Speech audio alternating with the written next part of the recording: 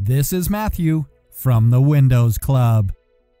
If you encounter fltmgr.sys blue screen on your Windows computer, then either read through this article on the website or simply watch this video.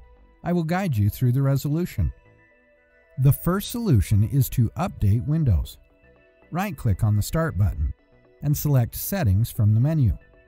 In the Settings window, go to the Windows Update tab on the list on the left-hand side.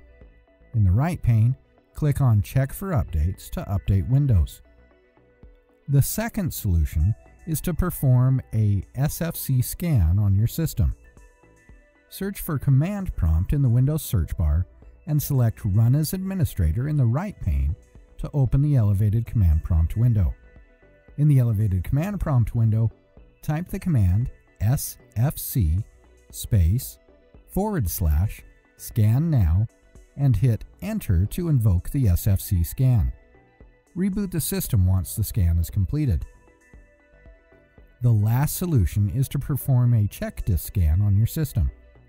Search for Command Prompt in the Windows search bar and select Run as Administrator in the right pane to open the elevated command prompt window.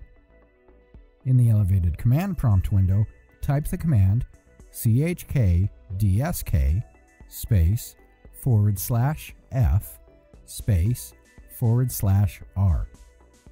Hit enter to perform the check disk scan.